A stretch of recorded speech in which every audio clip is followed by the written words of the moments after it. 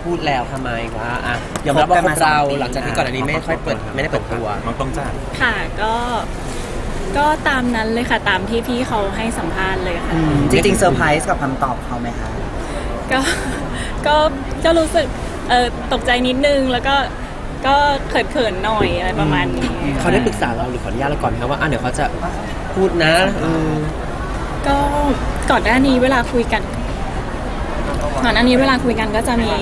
เหมือนกับก็คุยกันไว้บ้างว่าถ้ามีคนมาถามเออเราจะว่ายังไง แต่ว่ามายกับตัวพี่เพชรก็มองว่าเราก็เป็นคนธรรมดาคนหนึ่งก็ใช้ชีวิตปกติไม่ได้แบบอยู่หรือว่าไปไหนแบบไม่ได้ให้ใครเห็นหรือว่าอะไรอย่างเงี้ยค่ะ ก็ใช้ชีวิตทั่วไปไปเดินห้างไปกินข้าวไปดูหนังก็ตามที่พี่เขาบอกเลยค่ะจริงๆพอเปิดตัวแล้วมันจะหวานมากขึ้นไหมครับ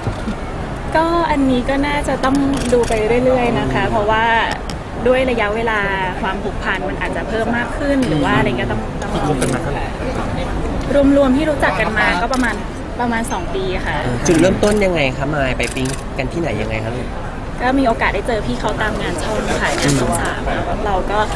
ได้พูดคุยกันแล้วก็เจอบ่อยก็พูดคุยกันมากขึ้น ทักทายกันมากขึ้นแล้วก็ก็ก็มากขึ้นมาเรื่อยๆค่ะเขาน่ารักไหมเขาเข้ามาจีบเรายังไงเอ่ยเขาก็ คือเขาดูเป็นคนขี้เล่นเป็นคนแบบทะเลนทะเลนหน่อยแต่เขาก็มีความน่ารักเอาใจใส่ดีเหมือนกันค่ะสองปีที่ผ่านมาเป็นไงบ้างครับความรักสองปีที่ผ่านมาก็ตั้งแต่รู้จักกันมาพี่เขาก็เป็นคนน่ารักเป็นคนเทคแคร์ใส่ใจ แล้วก็รายละเอียดคือเป็นที่ปรึกษาให้ไมค์ได้ในแบบ ในการทำงานด้วยในการแบบประสบการณ์ต่างๆ ในการทำงานค่ะทำไมเราเปิดใจรับเขาอะคะมายว่าแบบเขาก็อะเป็นคนมีชื่อเสียงคนหนึ่งสาวๆน่าจะเข้าหาเยอะอะไรอย่างนี้อื มมายมองว่ามามายึดการกระทำของเขานะปัจจุบันนะคะว่าเขาดูแลเราเทคแคร์เราดี แล้วก็เป็นที่ปรึกษาให้เราได้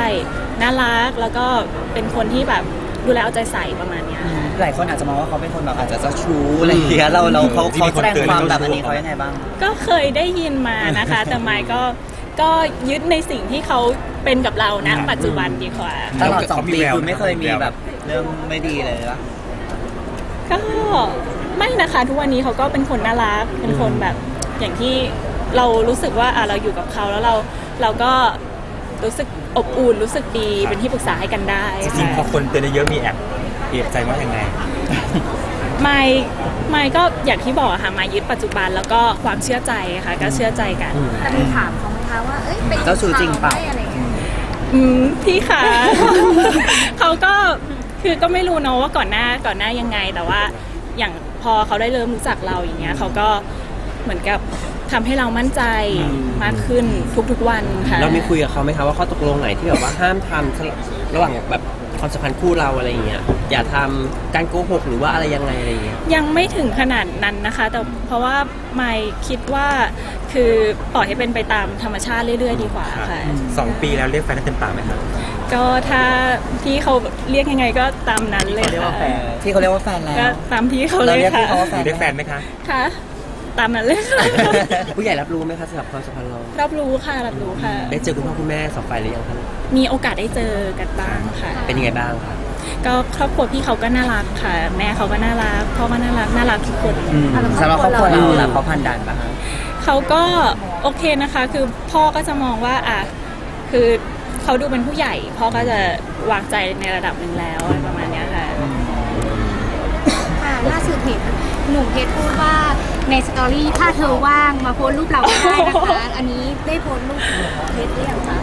ก็ยังเลยค่ะยังไม่ยังไม่มีโอกาสค่ะก็แต่พี่เขาก็เป็นคนที่ชอบช่วงหลังๆเนี่ยมายด์ก็สังเกตว่าเขาชอบตั้งสเตตัสหรือว่าแคปชั่นอะไรที่เป็นแบบเสี่ยวอะใช่แล้วก็แบบอ่อยๆหน่อยน่ารักน่ารักของเขา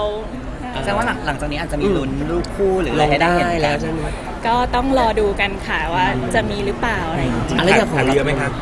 ก็พอสมควรค่ะอะไรต่อไปไปไหนดีจ้า